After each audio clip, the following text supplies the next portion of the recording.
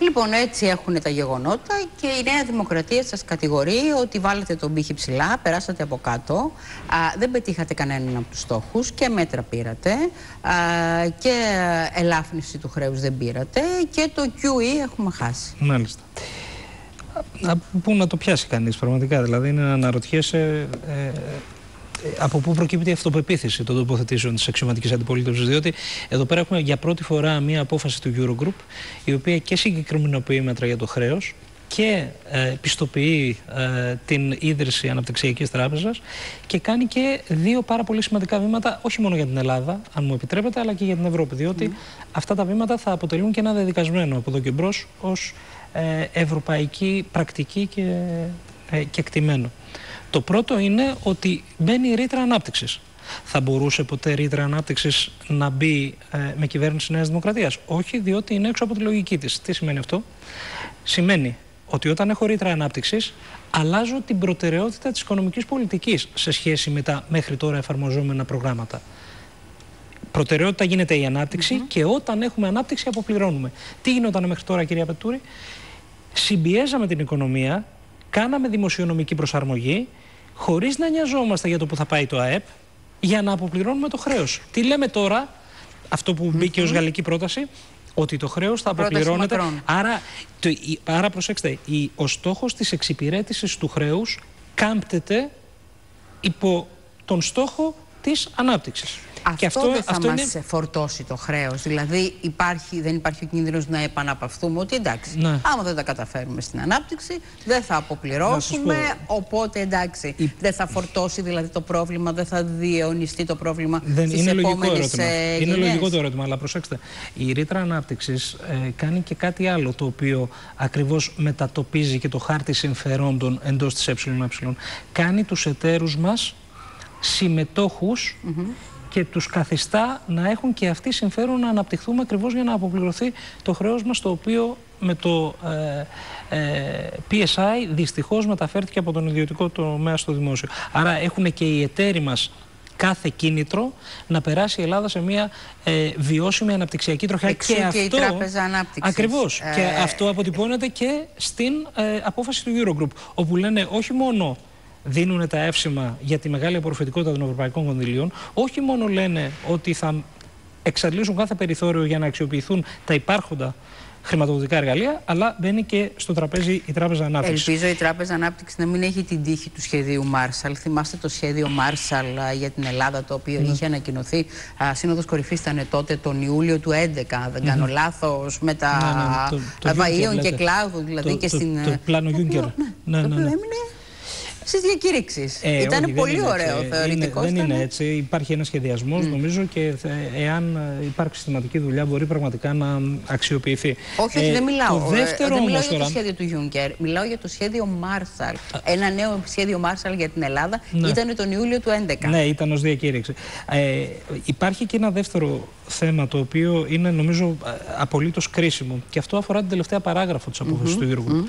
Η τελευταία παράγραφος της απόφασης του Eurogroup, η κυρία Πετούρη, λέει ότι θα διαμορφωθούν αποθέματα τα οποία θα εγγυηθούν την επιστροφή στην ομαλότητα της χρηματοδότησης, η οποία θα προκύπτει βεβαίως από το μείγμα δημόσιας και ιδιωτικής, δηλαδή εξόδου της αγοράς, χρηματοδότησης για την Ελλάδα. Αυτό είναι η πρώτη φορά που συμβαίνει. Δηλαδή, τι λένε, είχαμε συμφωνήσει να μπορεί να δανειστεί η Ελλάδα 84 δις με τη συμφωνία του Ιουλίου του 2015.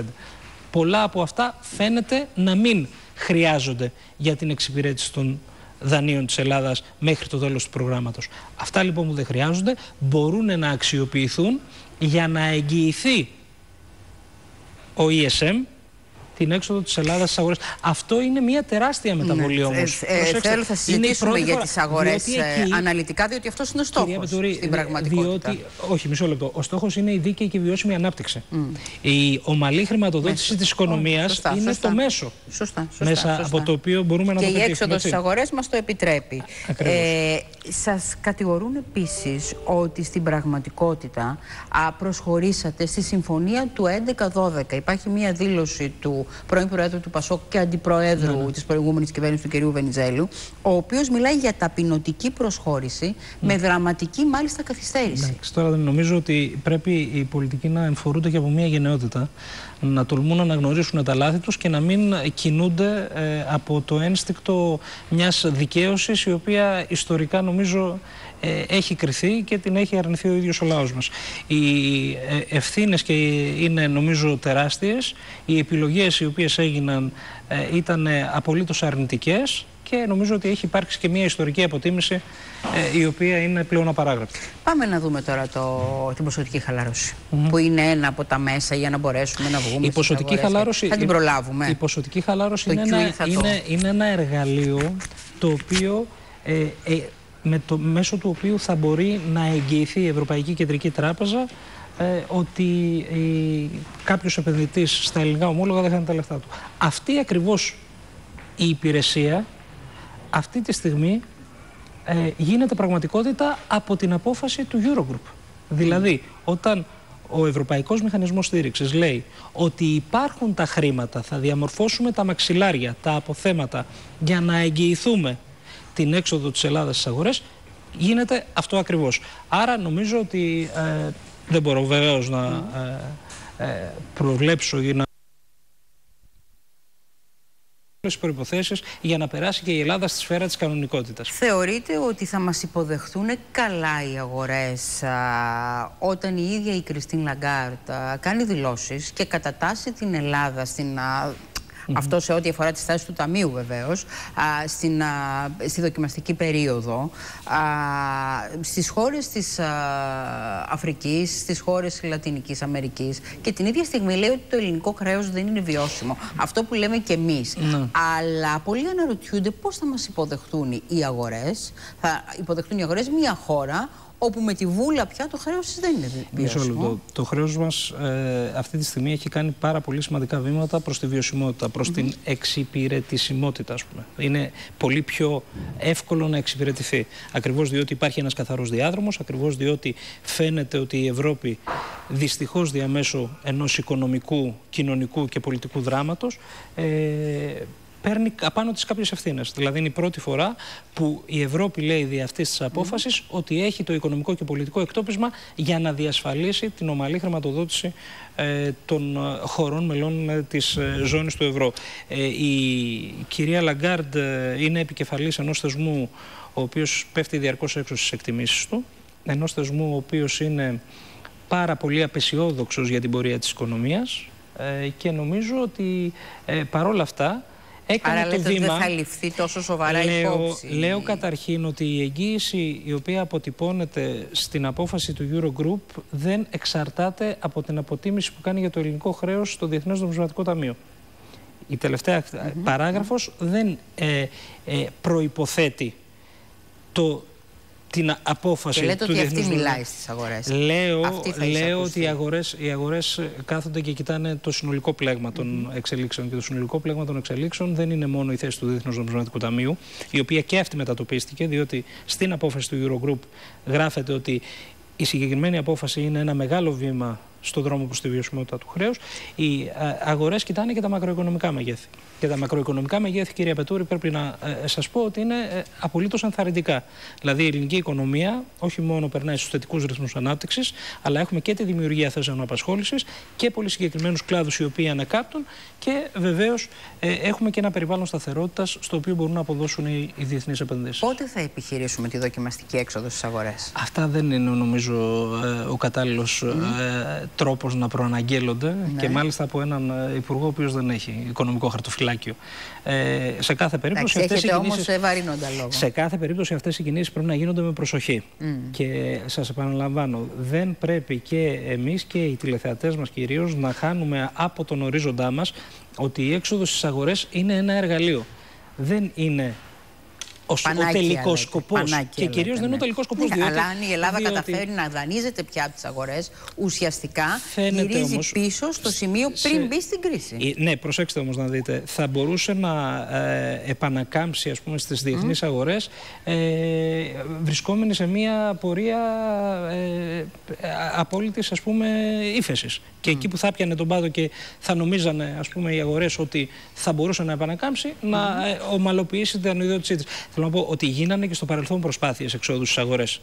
Αυτές δεν πρέπει να είναι πρόχειρες, δεν πρέπει να είναι στημένε. Και κυρίως δεν πρέπει να βασίζονται σε κοινωνικά και οικονομικά έργα. Άρα, να μην σας ρωτήσω αν θα υπάρχει ως μέτρο σύγκρισης το επιτόκιο που πιάσαμε την τελευταία φορά από την προηγούμενη κυβέρνηση, όταν βγήκαμε στις αγορές; Εντάξει, είναι ένας πάρα πολύ ε, στενός, ας πούμε, δείκτης. Λέει πολύ λίγα πράγματα, κατά τη γνώμη μου, αλλά σε κάθε περίπτωση, αν δείτε και αυτό το επιτόκιο έχει πέσει. Ε, το επιτόκιο αυτού του ομολόγου έχει πέσει ως απόδοση και αυτό είναι νομίζω ένας ε, δείκτης ε, ε, ο οποίος καταμαρτυρά πολλά πράγματα. Είναι ήδη δηλαδή και από την απόφαση του Eurogroup και μετά η πορεία των επιτοκίων είναι πτωτική. Ε, εδώ υπάρχουν οι πρώτες ερωτήσεις των τηλεθεατών. ρωτάνε το πώς μπορεί να υπάρξει ανάπτυξη όταν οι μικροομολογιούχοι το προηγούμενο διάστημα καταστράφηκαν και τι γίνεται για αυτούς; Ε, οι μικροομολογιούχοι είναι ένα, ένα μεγάλο δράμα πραγματικά το οποίο ήταν ε, ε, έτσι μέσα στην συνολικότερη δυστυχώς καταστροφή η οποία συμπαρέσυρε πάρα πολλά πράγματα με το PSI. Ε, ανάπτυξη μπορεί να υπάρξει αν αξιοποιήσει όλα σου τα εργαλεία. Να διαμορφώσεις ένα περιβάλλον οικονομικής και πολιτικής σταθερότητας η οποία πείθει και τους διεθνείς και τους εγχώριους επενδυτές ότι εδώ πέρα μπορεί πραγματικά ε, η, η, χώρα να ανακάμψει. Και βεβαίως ανάκαμψη δεν θα έρθει χωρίς ισχυρή δημόσια παρέμβαση. Λοιπόν, δηλαδή τα νεοφιλελεύθερα ναι. δόγματα τα οποία λέγανε ότι. Α, ο ρόλος του κράτους λοιπόν στην ο ρόλος του κράτους, Ο ρόλος του κράτους έχει υπάρξει παντού και πάντα αναντικατάστατο. Ο ρόλος του δημοσίου και κυρίως σε οικονομίες οι οποίες προσπαθούν να εξέλθουν τη ύφεση. Καμία οικονομία ιστορικά δεν έχει εξέλθει τη ύφεση αποκλειστικά από ιδιωτικές επενδύσεις, οι οποίες ιδιωτικές επενδύσεις ακολουθούν με κάποιο τρόπο τις μεγάλες δημόσιες παρεμβάσεις. Uh, οι τηλεθεατές μας είναι πολύ ενημερωμένοι, διαβάζουν πολλά site φαίνεται. Mm Ρωτούν εδώ Καλό για τις σχέσεις ε, του Υπουργού Οικονομικών του Ευκλήδη Τσακαλώτου με το Μαξίμου.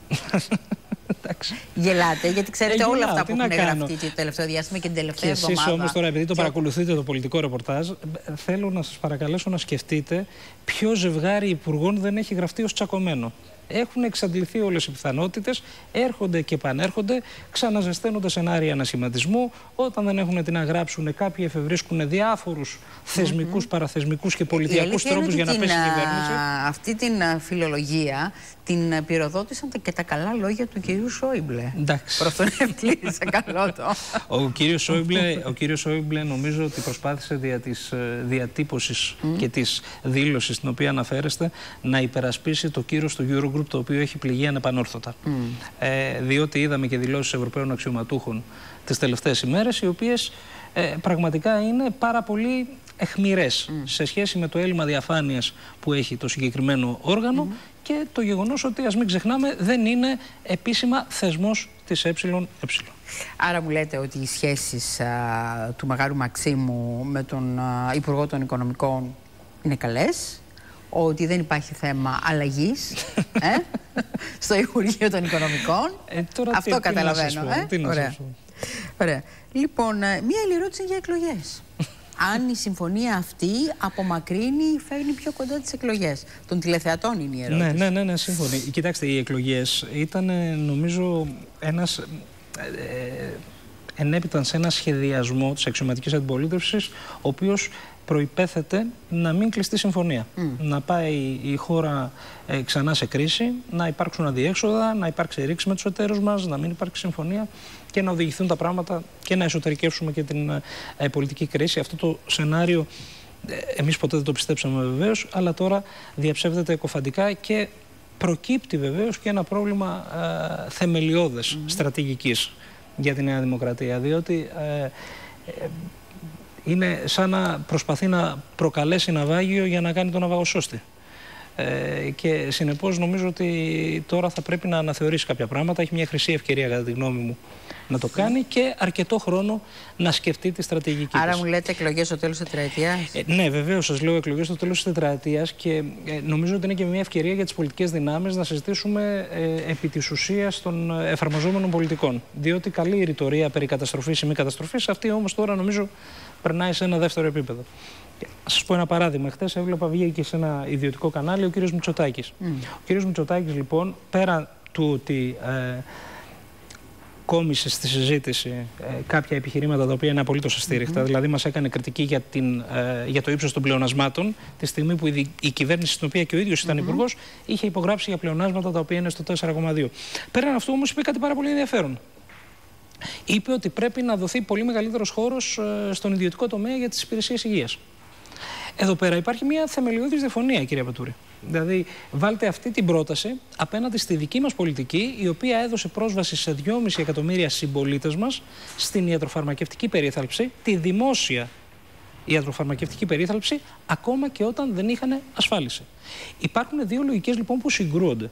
Αυτή τη στιγμή δηλαδή 500.000 συμπολίτες μας μπόρεσαν να έχουν πρόσβαση σε υπηρεσίες, είτε να συνταγογραφηθούν είτε να νοσηλευτούν, ακόμα και τη στιγμή που δεν είχαν ασφάλιση.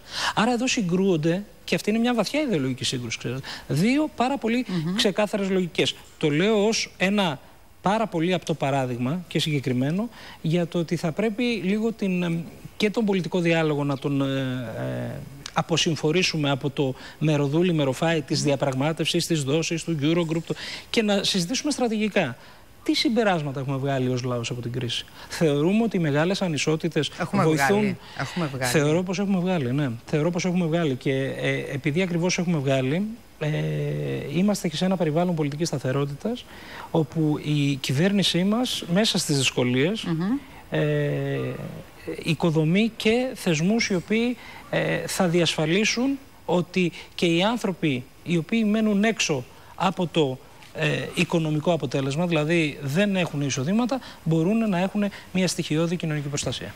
Υπάρχουν πάρα πολλές ερωτήσεις στα οικονομικά. Εγώ θέλω πια να περάσουμε στο τηλεοπτικό τοπίο που είναι πάρα πολύ ενδιαφέρον και συνδέεται κατά κάποιο τρόπο με τα οικονομικά.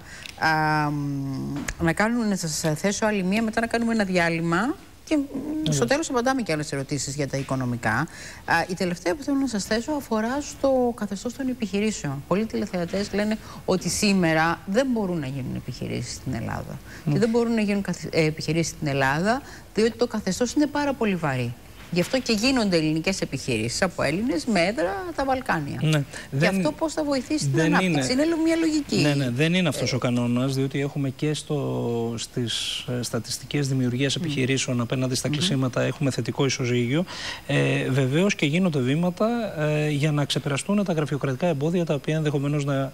Αυτό είναι το ένα σκέλος. Το, άλλο είναι το, το ύψος της φορολογίας. Το άλλο σκέλος. Ναι, θα μου επιτρέψετε να την αμφισβητήσω αυτή τη λογική όμως.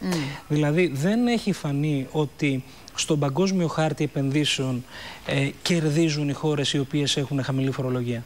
Κερδίζουν οι χώρες οι οποίες έχουν διαφανές σύστημα ε, εφαρμογής του δικαίου. Κερδίζουν οι χώρες οι οποίες έχουν σταθερή νομοθεσία. Κερδίζουν οι χώρες οι οποίες έχουν ικανά δίκτυα διανομής ικανά δίκτυα τηλεπικοινωνιών, ικανά δίκτυα μεταφορών και νομίζω ότι σε αυτό το Ωραία. Πάμε στα γίνεται... δίκτυα, πάμε στα δίκτυα, πάμε στα δίκτυα. Με βάλετε στο επόμενο θέμα. Α, πριν αρχίσουμε, μιλήσουμε για το τηλεοπτικό τοπίο, για την α, τέταρτη διαγωνιστική διαδικασία, η οποία δεν τελεσφόρησε σε αυτή τη χώρα. Πριν μιλήσουμε για όλα αυτά, θέλω να παρακολουθήσουμε πραγματικά, κυρίες και κύριοι, είναι μια εξαιρετική δουλειά που έχει κάνει η Μανιό Μάνεση α, με τη βοήθεια του σκηνοθέτη μας του Μιχάλη Μαυρομάτη, του φοβερού αρχείου της ΕΡΤ και αφορά στην ιστορία της ελληνικής τηλεόρασης. Θα δείτε το πρώτο πλάνο, το πρώτο σήμα που βγήκε στον αέρα το Σεπτέμβριο του 1960 επί Πρωθυπουργίας Κωνσταντίνου Καραμαλή. Θα δείτε τον πρώτο ρεπόρτερ της δημόσιας τηλεόρασης, της ΕΙΡ τότε. Θα δείτε δηλώσεις Καραμαλή. Είναι πάρα πολύ αξιόλογη δουλειά. Παρακολουθήστε την.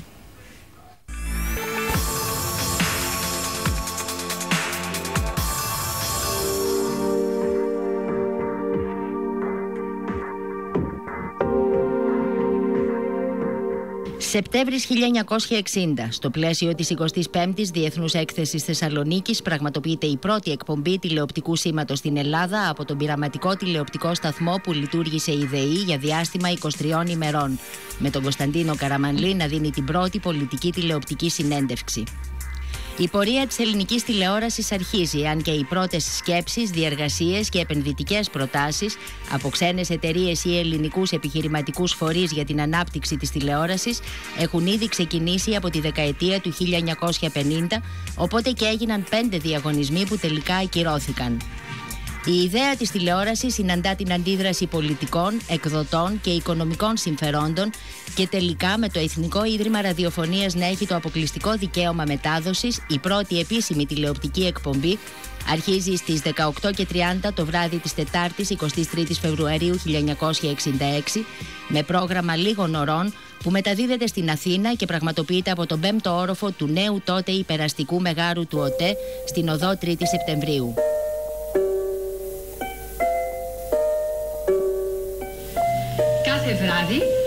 Τις 6 και μισή μέχρι τις 8 και μισή περίπου θα μεταδίδουμε μια σειρά δοκιμαστικών εκπομπών με ποικίλο περιεχόμενο. Παρουσιάστρια η Ελένη Κυπρέου, συντονιστής ο δημοσιογράφος Γιώργος Κάρτερ. Ενώ στα πεζοδρόμια του κέντρου της πρωτεύουσας, μπροστά στα καταστήματα ηλεκτρικών ειδών, οι περαστικοί σταματούν με περιέργεια και ενδιαφέρον. Το εγχείρημα γίνεται δεκτό με επιφύλαξη από τον τύπο της εποχής, με ενθουσιασμό όμως από τον κόσμο που σπέβδει να αγοράσει τηλεοπτικούς δέκτες. Σχεδόν ταυτόχρονα με το ΕΙΡ αρχίζει να οργανώνεται από το στρατό δεύτερο κανάλι η τηλεόραση των ενόπλων δυνάμεων. Το 1969 ο κόσμος καρφώνεται μπροστά στις τηλεοράσεις για μια βόλτα στο φεγγάρι και παρακολουθεί σε ζωντανή μετάδοση τα βήματα του Νίλ Άρμστρονγκ στην επιφάνεια της Ελλήνης. Χιλιάδες Ελλήνων είχαν σταθεί μπροστά στις συσκευές τηλεοράσεως που είχαν τοποθετηθεί σε επίκαιρα σημεία για να παρακολουθήσουν το κοσμοϊστορικό γεγονός. Το Εθνικό Ίδρυμα Ραδιοφωνίας μετεξελίσσεται το 1970 σε Εθνικό Ίδρυμα Ραδιοφωνίας και Τηλεόρασης και με τη μεταπολίτευση συστήνεται η Ελληνική Ραδιοφωνία Τηλεόραση, η ΕΡΤ, με σκοπό την ενημέρωση, την επιμόρφωση και την ψυχαγωγία του ελληνικού λαού. Το 1989 αρχίζει μια νέα εποχή για την ελληνική τηλεόραση με το νόμο περί μη κρατικής ραδιοφωνίας και τηλεόρασης και τη χορήγηση προσωρινών αδειών σε εκδότες εφημερίδων.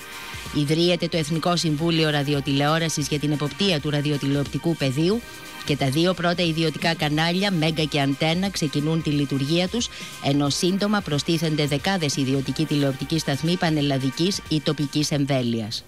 Η απελευθέρωση του τηλεοπτικού τοπίου έγινε απρογραμμάτιστα, χωρίς υποδομή, πρόβλεψη ή σχεδιασμό, εξυπηρετώντας συχνά πολιτικές και επιχειρηματικές σκοπιμότητες.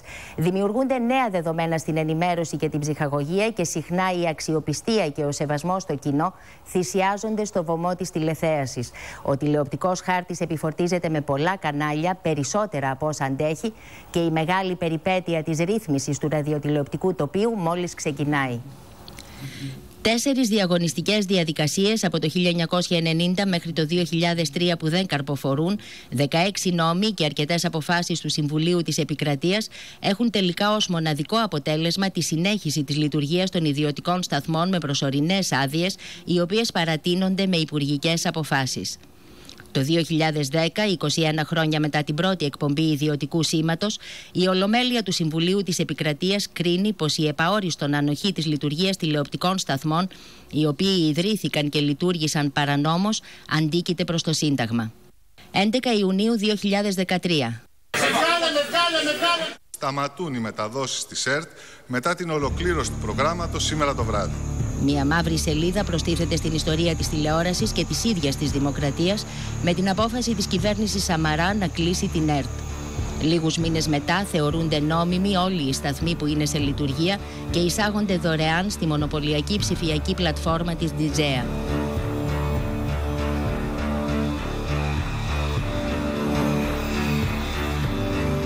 11 Ιουνίου 2015. Η ΕΡΤ ανοίγει ξανά στην πρώτερη μορφή της με απόφαση της κυβέρνησης Τσίπρα, η οποία επιπλέον ξεκινάει τη διαδικασία διενέργειας διαγωνισμού για τη χορήγηση τηλεοπτικών αδειών, προκειμένου να μπει τάξη στο άναρχο τηλεοπτικό πεδίο. Ο σχετικός νόμος ψηφίζεται τον Οκτώβριο του 2015. Οι τρεις άκαρπες, ωστόσο, προσπάθειες για συγκρότηση του ΕΣΟΥΡΟΥ με συνενετική λύση οδηγούν στην ανάληψη νομοθετικής πρωτοβουλίας από την κυβέρνηση, δίνοντας την αρμοδιότητα για την αδειοδότηση των καναλιών στον Υπουργό Επικρατείας, προκειμένου να διεξαχθεί ο διαγωνισμός χορήγησης τεσσάρων αδειών εθνικής εμβέλειας, πρωτοβουλία η οποία επικρίνεται έντονα από την αντιπολίτευση και πολεμήθηκε από τους υπάρχοντες σταθμούς. Η δημοπρασία διεξάγεται επιτυχώς με συνολικό τίμημα 256 εκατομμυρίων ευρώ. Η απόφαση, ωστόσο, του Συμβουλίου της Επικρατείας ότι το ΕΣΟΥΡΟΥ έχει την αποκλειστική αρμοδιότητα για τη διεξαγωγή του διαγωνισμού οδηγεί σε ακύρωσή του. Μετά τη συγκρότηση του νέου Εθνικού Συμβουλίου Ραδιοτηλεόρασης με τη σύμφωνη γνώμη των κομμάτων και την τροπολογία του Υπουργείου Ψηφιακής Πολιτικής για κατάργηση του άρθρου 2α περί αρμοδιότητας διεξαγωγής του διαγωνισμού του σχετικού νόμου, ανοίγει ο δρόμος για τη διανέργεια νέας δημοπρασίας από το Ραδιοτηλεοπτικό Συμβούλιο, το οποίο θα κληθεί να καταθέσει τη γνώμη του για τον αριθμό των τηλεοπτικών αδειών και την ελάχιστη τιμή εκκίνησης.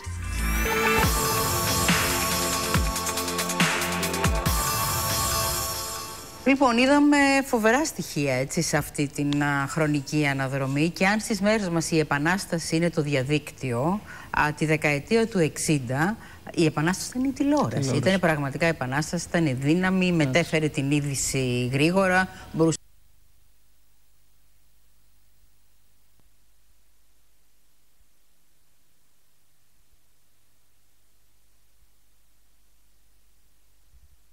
ακουστικό υλικό πλέον μεταφέρεται μέσα από οποιαδήποτε συσκευή. Είτε αυτό λέγεται η τυπική τηλεόραση η οποία ε, είναι και διασυνδεδεμένη στο διαδίκτυο. Η οποία δεν πέθανε όχι, παρά όχι, τις αρχικές προσέξτε, προσέξτε.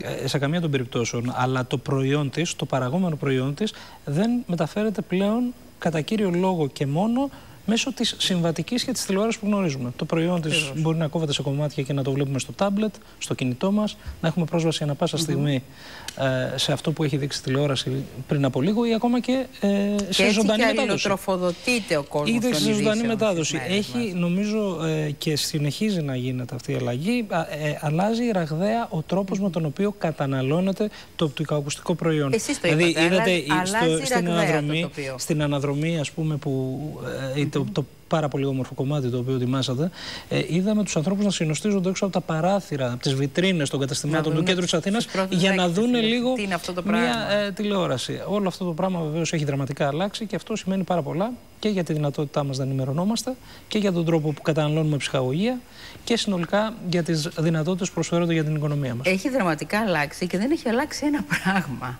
Τέσσερις διαγωνιστικές διαδικασίες α, για το τηλεοπτικό τοπίο, για τους κανόνες, έχουν πέσει στο κενό. Και τώρα είμαστε πάλι σε μια κρίσιμη ναι. φάση. Καταθέσετε μια τροπολογία ναι. στη Βουλή που ουσιαστικά σημαίνει την έναρξη της, της διαδικασίας. Της διαδικασίας αυτή τη φορά υπό την ναι. ευθύνη του Εθνικού Ραδιοτηλεοπτικού Συμβουλίου. Ε, είναι πολλές οι ερωτήσεις που έχω να σας κάνω εδώ. Καταρχήν έχει περάσει ένα μεγάλο χρονικό διάστημα από τη στιγμή που το Συμβούλιο της Επικρατείας ε, αποφάσισε ότι ε, το Εθνικό Ραδιοτηλεοπτικό Συμβούλιο είναι εκείνο το οποίο πρέπει να προκηρύξει και κυρίως να αποφασίσει τον αριθμό των καναλιών που έχει ανάγκη η χώρα. Ε, και μιλάμε τώρα για την έναρξη της διαδικασίας. Mm. Ξανά. Ε, δεν υπάρχει αμφιβολία ότι έχουν υπάρξει καθυστερήσεις και θα μπορούσαμε να είχαμε ολοκληρώσει πολύ πιο γρήγορα, διότι όταν δυστυχώς ε, με την απόφασή του το Συμβούλιο της Επικρατείας ακύρωσε το διαγωνισμό του περασμένου Αυγούστου, ε, το ελληνικό δημόσιο είχε συσσωρεύσει και πείρα και τεχνογνωσία και την υλικοτεχνική υποδομή, το λογισμικό, και την ε, εμπειρία του διαγωνισμού που είχε διεξαχθεί. Είχε αποδειχθεί επίσης ότι το δημόσιο θα μπορούσε να εισπράξει λεφτά από την ε, απόδοση αυτών των αδειών τα οποία δεν εισέπραξε.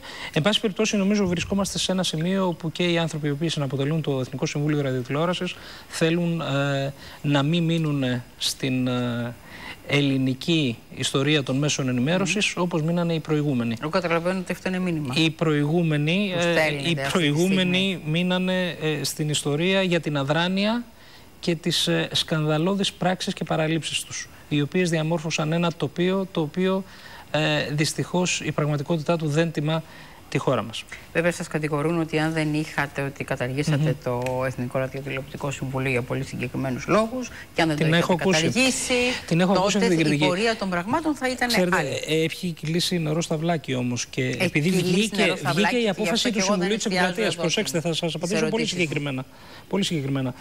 Ε, η απόφαση του Συμβουλίου της Επικρατείας, εκτός του ότι λέει ότι τα κανάλια δεν έχουν άδεια και πρέπει να γίνει αδειοδότηση, λέει κιόλας αυτή η απόφαση η οποία ακύρωσε το διαγωνισμό του Αυγούστου. Ότι το Εθνικό Συμβούλιο Ραδιοτηλεόρασης δεν είχε νόμιμη σύνθεση. Μας δικαιώνει δηλαδή αυτή η απόφαση που ακύρωσε τον ε, διαγωνισμό ως προς την κίνησή μας να προσπαθήσουμε να το ανασυγκροτήσουμε. Διότι οποιοδήποτε διαγωνισμό εάν ποτέ, που δεν θα είχε κάνει βέβαια στην προηγούμενη του σύνθεση, το Εθνικό Συμβούλιο Ραδιοτηλεόρασης, την επόμενη στιγμή θα έπεφτε από το ανώτερο συνταγματικό λοιπόν, δικαστήριο. Έχουμε εδώ πέρα ερωτήσεις ε, τηλεθεατών, οι οποίοι λένε RTDG ο πάροχος. Προφανώς αναφέρονται στο γεγονός να το υπενθυμίσουμε, να το εξηγήσουμε ναι, ναι. για όσους δεν το ξέρουν. Όταν η ΕΡΤ έκλεισε, α, δεν είχε τη δυνατότητα να συμμετάσχει στο διαγωνισμό, ο οποίος έλυγε στον Ιούνιος ήταν, α, στα τέλη Ιουνίου, αν δεν κάνω λάθος, του 2013, α, για τον πάροχο τη διανομή του σήματος. Και έτσι αποκλει... ε, μόνο, βρέθηκε, μόνο η εταιρεία βρέθηκε η Digi, η οποία έχει και την ευθύνη. Εδώ υπάρχουν παράπονα ότι σε αρκετές περιοχές της Ελλάδα, yeah. κυρίως ακριτικές, δεν βλέπουν δεν έχουν σήμα και θέλω να σας ρωτήσω μέσα σε αυτή τη νέα διαδικασία η οποία αρχίζει αν έχετε κάποιο μέρημνα γι' αυτό. Κυρία Πετούρη, νομίζω ότι με την ερώτησή σας αναδείξατε το διπλό μαύρο το οποίο έπεσε στην ελληνική τηλεόραση. Διότι έπεσε το μαύρο της ΕΡΤ, το οποίο είχε κατά τη γνώμη μου και τη σκοπιμότητα ακριβώς η ΕΡΤ να μείνει εκτός του διαγωνισμού για τον πάροχο δικτύου. Τι εννοούμε πάροχο δικτύου, εννοούμε την εταιρεία η οποία θα κατέχει το δίκτυο των κεραιών μέσα από το, τις οποίες μεταδίδεται το τηλεοπτικό σήμα. Και το δεύτερο βεβαίως, επειδή ε, τα μεγάλα ε, δίκτυα όταν τα αναπτύσσεις με κριτήρια ιδιωτικού κέρδους δεν κάνεις καλή δουλειά mm όπως έχει αποδειχθεί ιστορικά, είχε και το μαύρο στις δύσκολα προσβάσιμες περιοχές σε πάρα πολύ μεγάλο κομμάτι της ελληνικής είναι έτσι, επαρχίας. ο ρόλος ενός δημόσιου φορέα. Ακριβώς, διότι ο ιδιώτης και είτε εδώ, είναι οι μεταφορές, είτε είναι η ε, εδώ ο ιδιώτης δεν είχε κάποιο συμφέρον να αναπτύξει το δίκτυο με τρόπο τόσο άρτιο ούτως ώστε να καλύπτονται όλοι οι Έλληνες. Και αυτή τη στιγμή είμαστε ακριβώς στη διαδικασία όπου και ε, τα κεραιοσυστήματα μπορούν να βελτιωθούν και να καλύψουν ένα από το ένα ποσοστό ε, 4% του πληθυσμού mm μας δεν μπορεί να δει τηλεόραση και νομίζω ότι είναι ε, μια ντροπή αυτή την οποία πρέπει να καλύψουμε. Και με, τα, με τη βελτίωση των κυρίων συστημάτων αλλά και με την δορυφορική τηλεόραση ναι. μπορούμε αυτό το κενό να το έχουμε καλύψει. Ξεκινήσαμε ήδη από τις ακριτικές περιοχές και τα νησιά. Την Δευτέρα θα βρεθούμε στην Τήλο ακριβώς για αυτή την ε, δράση την οποία ήδη στη Θράκη έχει ε, αναπτυχθεί και νομίζω ότι ε, πάρα πολύ σύντομα θα είμαστε σε θέση να ανακοινώσουμε τον τρόπο και τον χρόνο με τον οποίο το σύνολο της επικράτειας θα καλύπτεται. Μοναδικός πάροχος θα παραμείνει η Δίτζια. Κοιτάξτε να δείτε. Υπάρχει ε, καταρχήν... Γιατί εδώ υπάρχει και ένα θέμα διαγωνισμού, που έχει γίνει. Ναι, ναι, ναι. ναι. Ε, κληρονομήσαμε και κάποιες συμβάσεις. Αυτό είναι ε, ένα δεδομένο από το οποίο δεν μπορεί δυστυχώς να ξεφύγει κανείς. Αλλά ε, πρέπει να σας πω ότι κατά τον νόμο η ΕΡΤ μπορεί και πρέπει να αναπτύξει ε, το δικό της δίκτυο. Σε κάθε περίπτωση όμως, και αυτό που πρέπει να το γνωρίζουμε, ε, ε στερείται οικονομικής λογικής μια χώρα να έχει δύο δίκτυα ή τρία δίκτυα. Άρα δηλαδή να, το σκεφτεί, να το σκεφτεί ο κόσμος ως εξής. Ε, θα ήταν οικονομικά λογικό να έχουμε δύο ΕΙΔΑΠ. Ναι. Δηλαδή δύο δίκτυα ε, ίδρυυσης και αποχέτευσης; Όχι, δεν θα ήταν οικονομικά λογικό. Θα ήταν τεράστιες mm. επενδύσεις οι οποίες θα αφορούσαν μια ταυτόσιμη υπηρεσία στον ίδιο χώρο. Άρα καταλαβαίνω ότι περιμένουμε να καταλάβετε ότι θα κάνουμε ό,τι είναι δυνατόν καταρχήν για να μπορούν όλοι οι Έλληνες να, να βλέπουν τηλεόραση. Και, ε, και δεν είναι μόνο η τηλεόραση, πάρα πολλά mail μιλούν και για το ραδιόφωνο. Ναι, δεν ναι, είναι, αντίστοιχο, είναι, είναι αντίστοιχο πρόβλημα. Αντίστοιχο, ναι. αντίστοιχο πρόβλημα. Αλλά νομίζω ότι το πέρασμα στο ψηφιακό ραδιόφωνο ε, είναι μια διαδικασία mm. την οποία υποχρεούμεθα να κάνουμε και θα μας δώσει και την ευκαιρία και το τοπίο να ρυθμίσουμε, αλλά και να καλύψουμε και όλη την επικράτεια. Μάλιστα. Λοιπόν, α... Κάτι άλλο θα κάνω πάλι το συνεργό του διαβόλου. Αυτός είναι ο ρόλος σας. Αυτός είναι ο ρόλος μου και χαίρομαι πραγματικά που το αναγνωρίζετε. Γιατί αυτός είναι ο ρόλος Κοιτάξτε, ο τύπο ο τύπος είναι. Αυτή είναι η καλή ενημέρωση τύπος... που οφείλει να ναι. προσφέρει. Ο τύπος είναι από τη φύση του αντιπολιτευόμενου. Υποτίθεται είναι σε θέση ελέγχου της εξουσίας. Είναι άλλο η ηθική, Καλό είναι, άλλο τα όρια ναι. της ηθικής, που είναι ένα πολύ σημαντικό.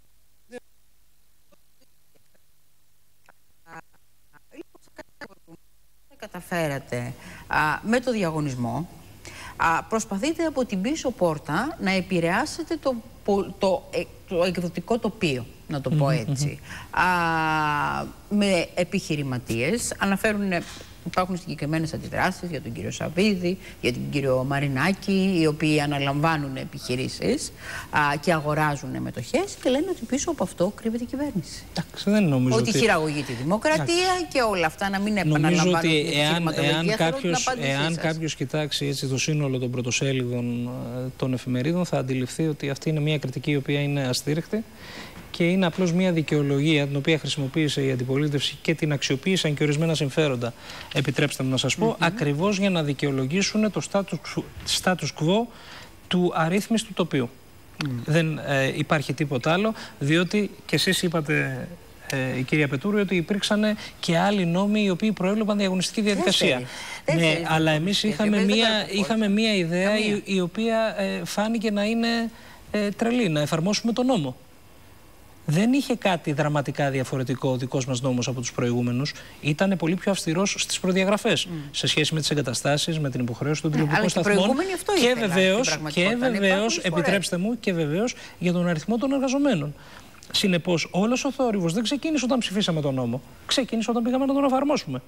Όπου εκεί πέρα στοιχήθηκε δυστυχώς και η αντιπολίτευση με τα πολύ συγκεκριμένα συμφέροντα τα οποία δίκαινα αεροπειρατείας αυτή τη στιγμή ε, εποφελούνται από την αξιοποίηση ενός σπάνιου δημόσιου πόρου που είναι ο αέρας της χώρας. Η δημόσια τηλεόραση δεν συνηθίζω πραγματικά να κάνω ερωτήσεις στους καλεσμένους στους καλεσμένους μου που αφορούν τα του οίκου μας. Γιατί αφορούν μόνο εμάς και όχι τους τηλεθεατές. Όμως η δημόσια τηλεόραση είναι πυλώνας της δημοκρατίας της ενημέρωσης.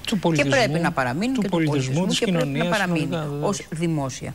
Α, θέλω να μου πείτε αν είστε ευχαριστημένος από την εικόνα της δημόσιας τηλεόρασης σήμερα, α, διότι και εδώ τώρα θα κάνω το σύνδεδρο του διαβόλου και θα μεταφέρω τα βέλη τα οποία δέχεται η δημόσια τηλεόραση και ποια είναι τα σχέδιά σας για αυτήν και την ανάπτυξή της, διότι είστε και ο αρμόδιος υπουργός; Κοιτάξτε, να δείτε. Η ΕΡΤ καταρχήν, θα ξεκινήσω από το τελευταίο, νομίζω ότι δέχεται βέλη λόγω πολιτικών σκοπιμοτήτων. Και τα βέλη που δέχεται είναι η ΕΡΤ. Είναι η πρώτη φορά που γίνεται αυτό, βέβαια. Και τα βέλη που δέχεται η ΕΡΤ. Ναι, αλλά αυτή τη, ζούμε μια περίοδο τα, στην οποία τα βέλη είναι πάρα, πάρα πολύ πυκνά.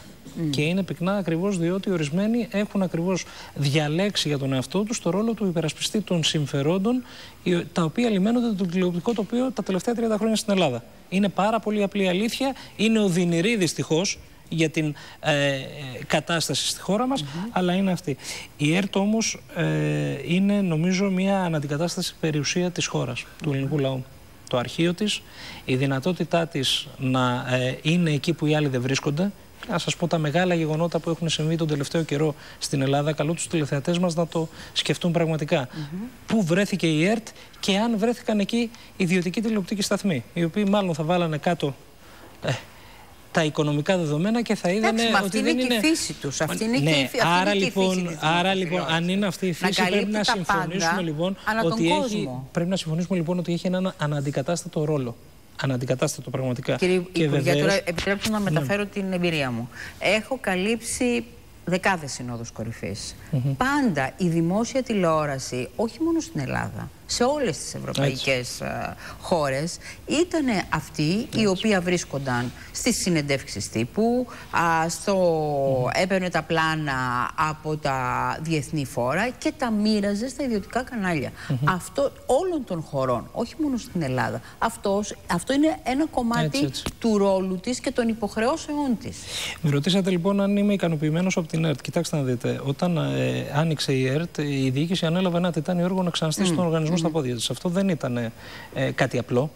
Λοιπόν, ο οργανισμός αυτή τη στιγμή. Και είναι όταν στα όλα πόδια τα του. μάτια ήταν στραμμένα Ο πάνω οργανισμός στην λοιπόν, ΕΡΤ, τότε. παρόλο το, ότι βρίσκεται σε ένα περιβάλλον δυστυχώς που πολλοί θέλουν να τον υπονομεύσουν, είναι στα πόδια του, δεν έχει επιβεβαιωθεί καθόλου η προπαγάνδα που έλεγε ότι οικονομικά δεν θα βγαίνει.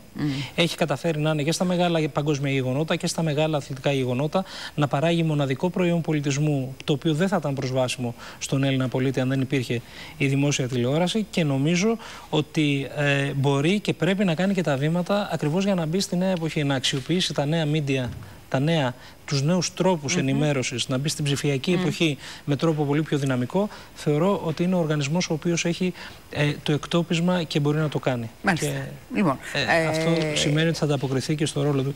Βεβαίως, κοιτάξτε να δείτε, ε, ε, νέα τεχνολογία δεν σημαίνει και το να πετάμε το παρελθόν από το παράθυρο, διότι η ΕΡΤ έχει ένα αρχείο το οποίο είναι ε, πολύτιμο. απολύτως το είδαμε, ανεκτήμητο. το είδαμε πριν. Θελήσαμε να Ανεκτήμητο. κάνουμε ένα τέτοιο θέμα, την ανεκτή- ιστορία της ελληνικής τηλεόρασης και είχαμε όλα τα Και, πλάνα. και η συστηματική αξιοποίησή του νομίζω ότι θα ε, είναι μια πάρα πολύ εξαιρετική και μοναδική συμβολή στην ελληνική ιστορία και, Και τον βεβαίως ελληνικό το πολιτισμό. κεφάλαιο είναι οι άνθρωποι, μου λένε κάποιοι συνάδελφοι αυτή τη Χωρίς στιγμή. τους Και είναι ανθρώπους- αλήθεια. χωρίς τους ότι ανθρώπους το, δεν γίνεται δηλαδή, τίποτα. ναι, πραγματικά το Δεν γίνεται ανθρώπινο τίποτα. δυναμικό, η ψυχή της ΕΡΤ. α, Είναι η ψυχή της ΕΡΤ. Όποιος έχει δουλέψει εδώ μέσα το καταλαβαίνει. Έτσι, έτσι. Το καταλαβαίνει. Λοιπόν, για να πάμε στην, α, στην τριμερή διάσκεψη που έγινε μέσα στην εβδομάδα και είναι μια πάρα πολύ σημαντική. Είναι η σύνοδος, μάλλον τριμερής σύνοδος κορυφής, α, η οποία είναι πάρα πολύ σημαντική και σε ό,τι αφορά τις διπλωματικές σχέσεις, μια και μπλέκεται το Ισραήλ, Ελλάδα, Κύπρος, Ισραήλ, αλλά και σε ό,τι αφορά το φυσικό αέριο, το νέο αγωγό. Να δούμε το τι συνέβη στο ρεπορτάζ της Μανιός Μάνης και αμέσως μετά να το συζητήσουμε.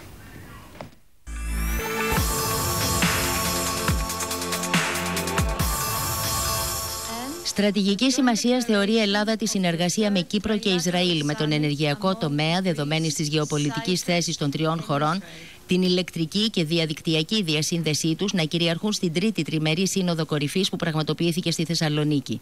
Αλέξης Τσίπρας, Νίκος Αναστασιάδης και Μπέντζαμιν Νετανιάχου έδωσαν ιδιαίτερη έμφαση στην κατασκευή του αγωγού EastMed που θα μεταφέρει φυσικό αέριο από τα ενεργειακά κοιτάσματα της Ανατολικής Μεσογείου προς την Ευρώπη, στην ηλεκτρική διασύνδεση Ισραήλ-Ελλάδας μέσω Κύπρου με την ανάπτυξη υποβρύχιου ηλεκτρικού καλωδίου του Euroasia Interconnector και παράλληλα ανάπτυξη οπτικής ίνας και στη δυνατότητα αξιοποίησης των ανανεώσιμων πηγών ενέργειας. στρατηγική ε, της Ελλάδας να καταστεί ενεργειακός κόμβος στην περιοχή, πιθανά νέα κοιτάσματα τόσο στην ε, α, αποκλειστική οικονομική ζώνη της Κύπρου, του Ισραήλ αλλά και της Ελλάδας δίνουν μια ιδιαίτερα ενδιαφέρουσα προοπτική σε αυτή τη συνεργασία όχι μόνο για τις τρεις χώρες μας αλλά θα έλεγα για την ευρύτερη περιοχή της ε, νότια-ανατολικής Μεσογείου για να αντιμετωπίσουμε αποτελεσματικά τις πολλαπλές προκλήσεις που αντιμετωπίζουμε σε εθνικό, περιφερειακό και διεθνές επίπεδο επιβάλλουμε να εργαστούμε συλλογικά I think it's become now not an annual but a, a semi-annual uh, meeting. Στην τριμερή σύνοδο, καθώς και στις διμερείς συνομιλίες, συζητήθηκαν επίσης η προώθηση κοινών πρωτοβουλειών για στήριξη της επιστημονικής έρευνας, της επιχειρηματικότητας και της καινοτομίας και οι δυνατότητες συνεργασίας στο πεδίο των τηλεπικοινωνιών. Σε μια κρίσιμη περίοδο για την ευρύτερη περιοχή, τους τρεις ηγέτες απασχόλησαν οι εξελίξεις στη Συρία, η ενδοαραβική διπλωματική κρίση με το Κατάρ, το Παλαιστινιακό και φυσικά το Κυπριακό. Τσίπρας, Αναστασιάδης και Νετανιάχου αναφέρθηκαν και στην ναζιστική θηριωδία εις βάρος της εβραϊκής κοινότητας της Θεσσαλονίκης. Είχαν προηγηθεί τα αποκαλυπτήρια της πλακέτας που θα τοποθετηθεί στο Μουσείο Ολοκαυτώματος, το οποίο θα κατασκευαστεί στη Θεσσαλονίκη στη μνήμη των 50.000 Εβραίων της πόλης που εξοντώθηκαν σε στρατόπεδα συγκέντρωσης κατά τη διάρκεια του Δευτέρου Παγκοσμίου Πολέμου.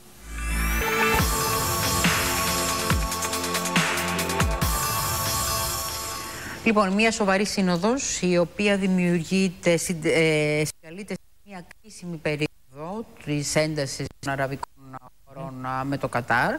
Και την ίδια στιγμή το αντικείμενο, ένα ο σχεδιασμός ενός αγωγού α, ο οποίος, ο, του EastMed, ο οποίος στην πραγματικότητα μεταφέρει όλο την, ε, τον ενεργειακό πλούτο μέσω της Ελλάδος και όχι μέσω της Τουρκίας είναι πάρα πολύ σημαντικό στοιχείο να αποσγευνάμε και στα οικονομικά για την ναι. ανάπτυξή μας. Εδώ ε, νομίζω ότι η στρατηγική αυτής της τριμερούς συνεργασίας εντάσσεται στην, ε, στο ευρύτερο όραμα για το ρόλο που μπορεί να παίξει η χώρα mm. στο διεθνές στερέωμα.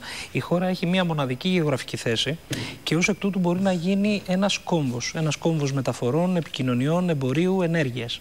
Και για να το κάνεις αυτό πρέπει να αναπτύσσεις ακριβώς με αποτελεσματικό τρόπο τέτοιου τύπου συνεργασίας. Καταλαβαίνετε ότι η Ελλάδα βρίσκεται σε μια γεωγραφική θέση όπου έχει από πάνω της, καθώς κοιτάς στο χάρτη, ας μου επιτρέψετε, μια όρημη αγορά 400 εκατομμυρίων πολιτών και από κάτω επίσης, ας μου επιτρέψετε, καθώς κοιτάς στο χάρτη, μια ε, περιοχή η οποία θα θέλαμε πάρα πολύ να σταθεροποιηθεί και ούτως ώστε να δημιουργηθούν οι δυνατότητες συνανάπτυξης με αυτές τις χώρες οι οποίες ε, έχουν πάρα πολύ μεγάλες δυνατότητες. Η χώρα μας μπορεί να γίνει η πύλη εισόδου για εμπορεύματα, για ενέργεια, για μεταφορές, για τηλεπικοινωνίες από όλο τον κόσμο προς τις όριμες αγορές της Ευρώπης και τις αναπτυσσόμενες αγορές της Βόρειας Αφρικής και αυτό νομίζω είναι ο πυλώνας μιας στρατηγικής γύρω από την οποία πρέπει συλλογικά οι Έλληνες να οραματιστούμε την Ελλάδα του αύριο. Τέτοιου είδους ε, κινήσεις συνδέονται όμως και με την εξωτερική πολιτική. Αν το ένα πόδι, το ένα πλοκάμι είναι στην οικονομία, το άλλο είναι στην εξωτερική πολιτική. Εδώ μιλάμε ότι υπάρχουν με τον άλλον αγωγό συμφέροντα πάρα πολύ σοβαρά της mm Τουρκίας και έρχεται σε μία περίοδο που υπάρχει νέα κινητικότητα στο Κυπριακό. Σας πάω από το ένα θέμα στο άλλο, αλλά ναι, είναι ναι. συγκοινωνούντα δοχεία. Α, και υπάρχει η επανέναρξη των συνομιλιών στη Γενέβη. Ναι, βέβαια. Είστε αισιόδοξος. Ε, Είστε αισιόδοξος από αυτή την προσπάθεια. Συγκρατημένα. Mm. συγκρατημένα. Ε, αλλά νομίζω ότι ε, η ελληνική, η ελληνοκυπριακή πλευρά ε, έχει κάνει ε, πάρα πολλές ε, κινήσεις και έχει δείξει και τη γενναιότητα που πρέπει. Ελπίζουμε το ίδιο να συμβεί και στην ε, άλλη όχθη της διαπραγμάτευσης, mm -hmm. στους αντισυμβαλόμενους. Και από τη δεκαετία του 90, όταν το θέμα των Σκοπίων της πρώην mm Δημοκρατίας της Μακεδονίας, η ονομασία του ήταν στα ύψη του ενδιαφέροντος της επικαιρότητας, έρχονται σήμερα, μερικές δεκαετίες μετά, η πρώην Δημοκρατία της Μακεδονίας εξαιτίας της ένταξής της στο ΝΑΤΟ και λέει και συζητάει την, να αποδεχθεί ένα άλλο όνομα. Πώς θα χαρακτηρίζετε αυτή την εξέλιξη και αν μέσα στα σχέδιά σας είναι να την εκμεταλλευτείτε και οικονομικά, με την καλή έννοια του όρου. Αντί για εξέλιξη θα προτιμούσα να την πω ένδειξη. ένδειξη. Πρέπει ναι, στα θέματα της εξωτερικής ναι, πολιτικής ναι, ναι, ναι, να είμαστε λίγο συγκρατημένοι, αλλά νομίζω ότι η προοπτική της επίλυσης ε, αυτού του ακαθόδους δυστυχώς ε, ζητήματος είναι μια προοπτική η οποία είναι εξαιρετικά θετική για την Ελλάδα και ε, την ε, δυνατότητα που θα δημιουργήσει ακριβώς να παίξουμε ακόμα πιο αναβασμένο ρόλο συνολικά στην περιοχή. Ωραία. Λοιπόν, θα πρότεινα σε αυτό το σημείο να κάνουμε το διάλειμμά μας και αμέσως μετά, κυρίες και κύριοι, μετά από ένα σύντομο πραγματικά διαφημιστικό διάλειμμα, γιατί το επιδιώξαμε να είναι σύντομο και να έχουμε χρόνο για συζήτηση, θα επανέλθουμε να απαντήσουμε όσες ερωτήσεις σας δεν έχουν απαντηθεί.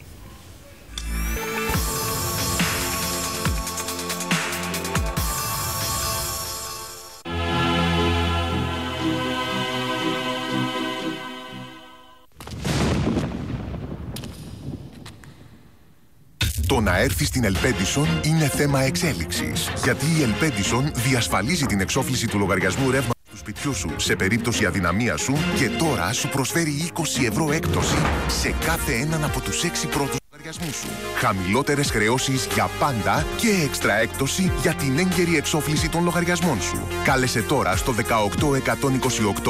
Ελπέντισον. Δίπλα σας με όλη μας την ενέργεια. Εκδόσει Σαβάλας κατανοητά, μεθοδικά. Γιατί το καλό βιβλίο είναι σαβάλας. Με την εφημερίδα των συντακτών. Σαββατοκύριακο. Άρης Βελουχιώτης. Για πρώτη φορά στη δημοσιότητα, ο φάκελός του στην ασφάλεια μέσα από ένα πολυσέλιδο αφιέρωμα. Ο Θανάσης Κλάρας και η δράση του όπως καταγράφεται στα απόρριτα έγγραφα των αρχών δίωξης του κομμουνισμού. Και μαζί 30 χρόνια από το θρίαμβο του Eurobasket. Όλα όσα έγιναν από την ομάδα Θαύμα μακριά από τα φώτα της δημοσιότητας την εφημερίδα των συντακτών Σαββατοκύριακο. Μοναδικοί εργοδότες, οι αναγνώστες μας. Αυτή την Κυριακή 18 Ιουνίου με την Κυριακάτικη Κόντρα News. Αποκλειστή. Η Γερμανία καρφώνει τον Κώστα Σιμίτη ότι έβαλε με ψεύτικα στοιχεία την Ελλάδα στο ευρώ. Το Βερολίνο θυμήθηκε τώρα ότι μπήκαμε στο πλευρό με τα μαγειρεμένα στοιχεία του Σιμίτη, του Στουρνάρα και του Παπαδήμου. Οι Γερμανοί τους καταγγέλουν για τη δημιουργική λογιστική της Ελστάτ και κατηγορούν την κυβέρνηση του Πασόκ που μας έβαλε στην ΟΝΕ. Η επιστολή κόλαφος του Γερμανικού Υπουργείου Οικονομικών προς την Κομισιόν. Αυτή την Κυριακή μην χάσετε την Κυριακάτικη Κόντρα News.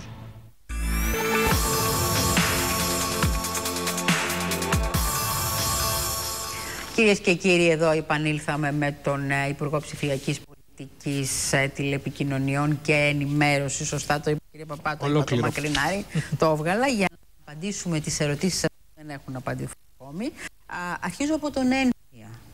λένε, οι ερωτούν οι τηλεθεατές πότε θα υπάρξουν οι ελαφρύνσεις στον ένφια. Ε, ο ένφια είναι μια απονομένη ιστορία. Διότι... Αυτό είναι βέβαιο. ναι, Αυτό διότι, είναι βέβαιο για γιατί, όλους μας. Διότι ήρθε και εφαρμόστηκε χωρίς να υπάρχει λαϊκή εντολή. Έτσι, δηλαδή τον εφάρμοσε, τον εφάρμοσε ενώ είχε λαϊκή εντολή πραγμάτευσης. Εμείς προσδοκούσαμε και από την πρώτη εκλογή να καταφέρουμε να φτάσουμε σε μια συμφωνία η οποία θα μας επέτρεπε να το καταργήσουμε. Αυτό δεν το καταφέραμε. Και, ε, και εδώ σας καταλαβαίνουν και... πολλά, να Μισό λεπτό. Όχι, όχι. Αυτό θα ήταν ακολουθία συνεχίζαμε να κυβερνάμε με την πρώτη εντολή. Στη δεύτερη εντολή πήγαμε με γνωστή τη συμφωνία και με. Ε, Βεβαίως. Αυτό είναι το κρίσιμο. Mm. Αυτό είναι το κρίσιμο διότι δεν είχε γίνει τα προηγούμενα χρόνια. Πρώτα ο κ. Παπανδρέου βγήκε με εντολή ε, ότι λεφτά υπάρχουν, έλεγε ε, στις εκλογέ και έφερε το πρώτο μνημόνιο. Και ο κ. Σαμαράς έλεγε να διαπραγμάτευση και έφερε το δεύτερο. Λοιπόν, εμείς λοιπόν πήγαμε μετά τη συμφωνία και τώρα mm -hmm. που καταφέραμε από το 19 να μειωθεί για τους μισούς Έλληνες κατά 30% ένφια, η αντιπολίτευση αρνήθηκε και δεν ψήφισε αυτή τη ρύθμιση. Mm -hmm. Νομίζω ότι είναι μια απολύτως λοιπόν, υποκριτική ένας, στάση. Ένας, ε, φαίνεται είναι ο τηλεθεατής μας, είναι ο παδός Κατερίνας Αργοπούλου και των υπόλοιπων ε, συναδέλφων που απαρτίζουν την αίθουσα αυτή. Δεν διαμαρτύρεται και παίζουμε εμείς στους ε, αθλητικούς αγώνες και την αίθουσα σύνταξης. Το αναφέρω απλώς. Δεν μπορώ να το σχολιάσω. Χωρίς σχόλιο. Α, αγαπητοί τηλεθεατές που μας μιλάτε για το σήμα στο Ηράκλειο και στους Τρακομακίνε, ήδη ο Υπουργός έχει απαντήσει και έχει πει ότι α, είναι μέσα στα άμεσα σχέδια του Υπουργού να αποκατασταθεί το σήμα της τηλεόρασης σε όλη τη χώρα. Λοιπόν, εργαζόμενοι που να δεικνύει το δράμα που βιώνουν οι άνθρωποι στον τύπο. Από μια συγκεκριμένη. Δεν θα το όνομα της για δεδομένα ε, νόμο και λέει προς κόμματα Δεν ξέρω το, αν σχολιάσω τη συγκεκριμένη περίπτωση. Βέβαιο είναι ότι ε, δυστυχώς ο τύπος συνεχίζει και βρίσκεται σε μια κρίση η οποία είναι διαρκής και επίμονη. Ε, και τέτοιου τύπου φαινόμενα αν δεν ε, ε, γίνει εκεί μια, ε, κάποιο τύπου εξορθολογικοποίηση, mm. ε, δυστυχώς θα επιτύχουμε. Λοιπόν, είναι, είναι δυστυχώς. Δεν έχουμε χρόνο δυστυχώς, Υπουργέ. Θέλω να σας ευχαριστήσω που ήσασταν σήμερα μαζί μας. Να σας το πετάξω στο τέλος μια τελευταία ερώτηση. Βλέπω ότι δεν φοράτε γραβάτα. Πότε θα φορέσετε. Δοκίμασα μία φορά, αλλά. Αυτός είναι ο λόγος. λοιπόν, άρα δεν, υπά... άρα δεν υπάρχει χρονοδιάγραμμα. Για γραβάτα. ναι. Προσωπικά σε μένα όχι, δεν όχι. υπάρχει. Κυρίες και κύριοι, δεν, είναι άβολο, δεν, δεν είναι λίγο άβολο. Εγώ δεν ξέρω, δεν έχω φορέσει ποτέ γράμματα για να σας απαντήσω. Δεν είμαι κατάλληλη. Κυρίες και κύριοι, φεύγουμε βιαστικά. Έχουμε αργήσει. Ακολουθεί η εκπομπή γύρω με την Εύα Να έχετε ένα θαυμάσιο Σαββατοκύριακο.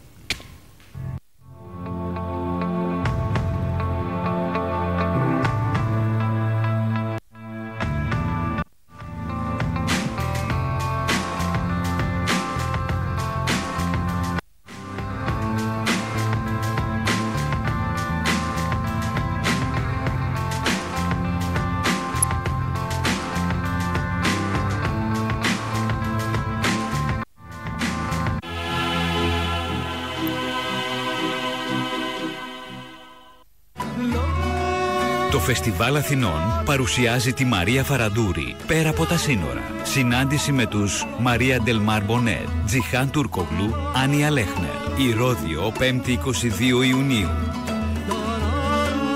Μαρία Φαραντούρη πέρα από τα σύνορα. Εισιτήρια στα ταμεία του Φεστιβάλ Αθηνών Πανεπιστημίου 39 στο 210 32 72 και στο greekfestival.gr.